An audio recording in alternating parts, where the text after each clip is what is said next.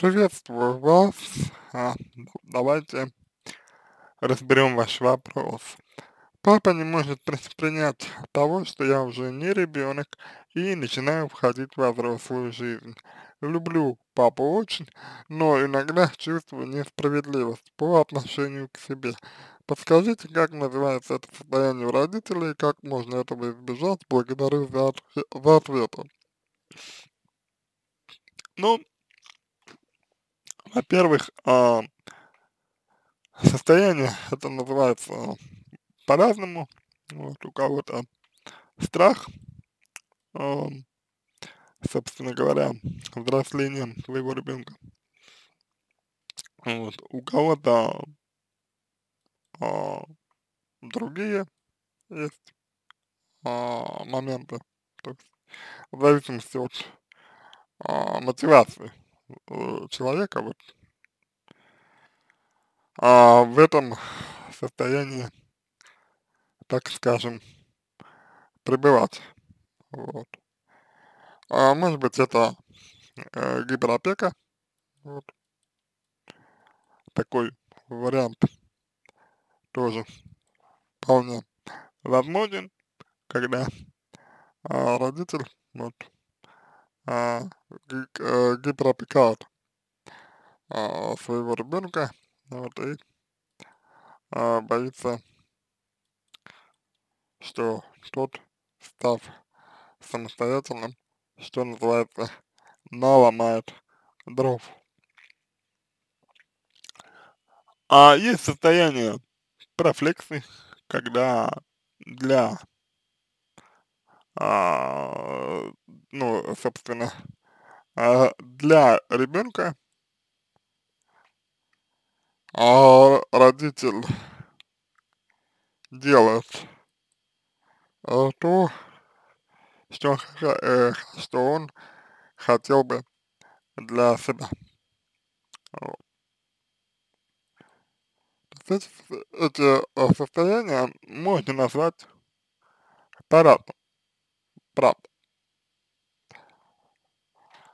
А другой вопрос, зачем эти состояния как-то называть? Ну, то есть, а, то есть, а, буквально, зачем? Зачем эти состояния как-то называть. Вот. Это очень важный момент. Не для, не для рационализации или хочется вас спросить, да? Не для рационализации ли вам нужно назвать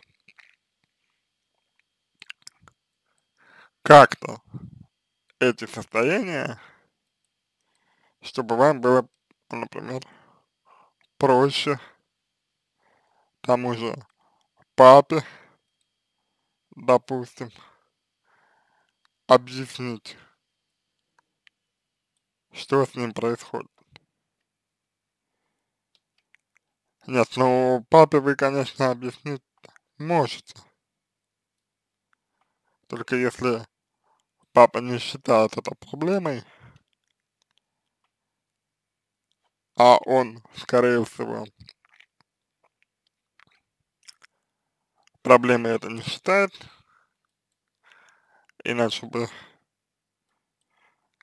обратился к психологу сам, вот, то толку от таких объяснений будет немного, поверьте. Далее, а, ваше рэкетное состояние, то есть состояние, а, при котором вам вот неприятно. Как-то эта ситуация, в которой вы оказались. Вот. Называется несправедливость. и несправедливость, чувство несправедливости, на мой взгляд, а, здесь является следствием запрета на злость. Вы запрещаете себе злиться на отца, выставлять личные границы, пытаетесь его уговаривать, пытаетесь его убедить, а, вот, ну, в том, что вы правы, допустим, в том, что вы на самом деле, например, знаете, как нужно, да, на самом деле знаете, как, э, ну, как хорошо, как, как, как, как правильно, вот. Вы пытаетесь папу убедить, у вас это не получается. У вас не получается убедить папу. И от этого появляется ощущение несправедливости. Вот. А, то есть несправедливость от того, что папа не разделяет ваши, ваших взглядов, не принимает вашу позицию. Вот попробуйте увидеть, пожалуйста, а что бы произошло, если бы он увидел? Что бы, что бы произошло, если бы он бы принял и одобрил? Как бы, как бы вы себя почувствовали бы тогда? Вот. Как, как бы вы себя ощутили тогда? Что бы это было за чувство? Вот если вы уви увидите это, если вы заметите это, то, на мой взгляд, у вас появится шанс на то, чтобы ситуация эта а, как-то была бы разрешена для, для вас. Вот. Конечно же. А пока вы себе не отдаете в этом отчет, пока вы не отдаете себе отчет в том, а, чего вы хотели бы, пока вы не отдаете себе отчет в том, а, что вам нужно и от чего возникает несправедливость. А, следующий важный момент заключается в том, что а, вас эта ситуация задевает как-то. Вам эта ситуация неприятна чем-то. Вот. То есть, опять же, эта история про что? Что вот папа не соглашается со мной. Вот. Папа не принимает а, ну, ну, чего-то. И меня это ранит. А как меня это ранит? Чем меня это ранит? Как это происходит? Что меня ранит? Вот это тоже очень важный, конечно же, момент. Пока вы не, э, не увидите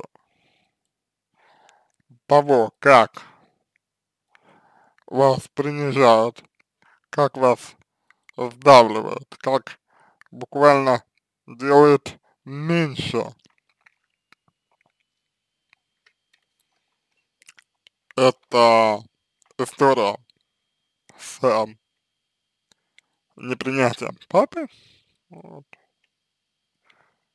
Я думаю, что опять же ситуация будет продолжаться. А избежать, как вы говорите, этой ситуации нельзя. Потому что и родители, и дети э, чаще всего находятся в естественной зависимости друг от друга. Зависимости, возникающей в результате, ну вот, э, детства ребенка. То есть, иными словами, это абсолютно нормально. То, что папа не понимает а, ваше взросление. Вот. Но, когда вы пытаетесь ему доказывать что-то, когда вы даете ему понять, что его мнение, его принятие, его, ну, не знаю, благословение, если хотите.